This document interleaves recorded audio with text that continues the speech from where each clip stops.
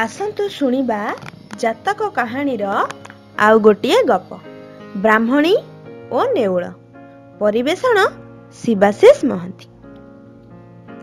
ଗୋଟିଏ ଗ୍ରାମରେ ଜଣେ ଦରିଦ୍ର ବ୍ରାହ୍ମଣ ବାସ କରୁଥିଲା। ବ୍ରାହ୍ମଣ ସହିତ ବ୍ରାହ୍ମଣୀ ଓ ତାର ଗୋଟିଏ ଛୁଆ ପୁଅ ଥିଲା।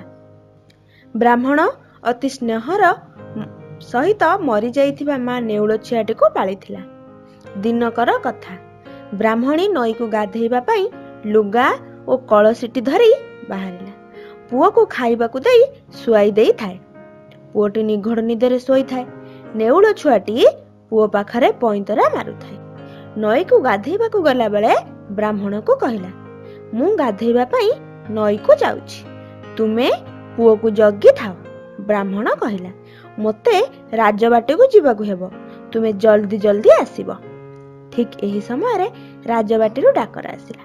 ବ୍ରାହ୍ମଣ ତରତର ହୋଇ ରାଜବାଟିକୁ ଚାଲିଗଲା। ବ୍ରାହ୍ମଣୀ ବାଧ୍ୟ ହୋଇ ପୁଅକୁ ଜଗିବା ଭାର ନେଉଳକୁ ଦେଇ ନଈକୁ ଗଲା। ନଈ ତୁଠରେ ବାର ମାଇକିନାଙ୍କ ସହିତ ଗପସପରେ ବ୍ୟସ୍ତ ରହି ବ୍ରାହ୍ମଣୀ ପୁଅ କଥା ଭୁଲି ଯାଇଥିଲା।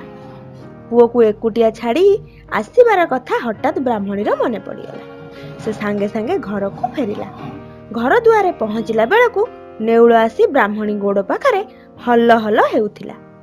ନେଉଳର ବ୍ୟବହାରରେ ବ୍ରାହ୍ମଣୀ ବିରକ୍ତ ହୋଇ କହିଲେ ପିଲାଟାକୁ ଘରେ ଏକୁଟିଆ ଛାଡ଼ି ଦେଇ ଆସି ମୋ କୂଳକୁ ଆସିବାକୁ ଚାହୁଁଛୁ? ତୋତେ ଲାଜ ନାହିଁ? ନେଉଳ ବ୍ରାହ୍ମଣୀର କଥା ବୁଝିପାରିଲା ନାହିଁ କିନ୍ତୁ ବ୍ରାହ୍ମଣୀର ବିରକ୍ତିକୁ ଠିକ୍ ଭାବରେ ବୁଝିପାରିଲା। ନେଉଳର ମୁହଁକୁ ଚାହିଁ ବ୍ରାହ୍ମଣୀ ଚମକି ପଡ଼ିଲା। ଏ କ'ଣ? ନେଉଳ ପାଦରେ ଓ ମୁହଁରେ ଲାଲ ଲାଲ ରକ୍ତ ଲାଗିଛି? ହତଭାଗା ମୋ ପୁଅକୁ କାମୁଡ଼ି ଦେଇ ଆସିଛୁ ଏହା କହି ବ୍ରାହ୍ମଣୀ ପାଣି ଭର୍ତ୍ତି ମାଠିଆକୁ ନେଉଳ ଉପରେ କଚାଡ଼ି ଦେଲା ବିଚରା ନେଉଳ ଛଟପଟ ହୋଇ ମରିଗଲା। ବ୍ରାହ୍ମଣୀ ପୁଅକୁ ନେଉଳ ମାରିଥିବା ଆଶଙ୍କା କରି ପାଗଳି ଭଳି ଘର ଭିତରକୁ ଦୌଡ଼ିଲେ। ଘରେ ପୁଅ ନିଶ୍ଚିନ୍ତରେ ଶୋଇଥିବାର ଓ ପାଖରେ ଗୋଟିଏ ଗୋଖର ସାପ ଖଣ୍ଡ ଖଣ୍ଡ ହୋଇ ପଡ଼ିଥିବାର ଦେଖି ଆଶ୍ଚର୍ଯ୍ୟ ହୋଇଗଲେ।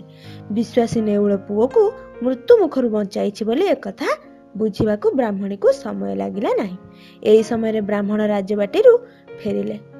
ବ୍ରାହ୍ମଣଙ୍କୁ ଦେଖି ବ୍ରାହ୍ମଣୀ ସବୁ ରାଗ ତାଙ୍କ ପାଖରେ ସୁଜାଇଦେଲେ ବ୍ରାହ୍ମଣୀ କହିଲେ ତୁମେ ଲୋଭରେ ପଡ଼ି ରାଜବାଟିକୁ ଗଲ ବୋଲି ଏପରି ଅଘଟଣ ଘଟିଲା। ପୁଅ ଯଦିଓ ସାପ କାମୁଡ଼ାରୁ ବଞ୍ଚିଗଲା କିନ୍ତୁ ମୋର ଦୁଷ୍ଟ ବୁଦ୍ଧିରୁ ନେଉଳ ବିଚରାଟିର ପ୍ରାଣ ଗଲା। ତେଣୁ ସର୍ବଦା ଚିନ୍ତା କରି କାର୍ଯ୍ୟ କରିବା ଉଚିତ। କ୍ରୋଧର ବର୍ଷବର୍ତ୍ତୀ ହୋଇ କୌଣସି ମନ୍ଦ କଥା କରିବା ଅନୁଚିତ।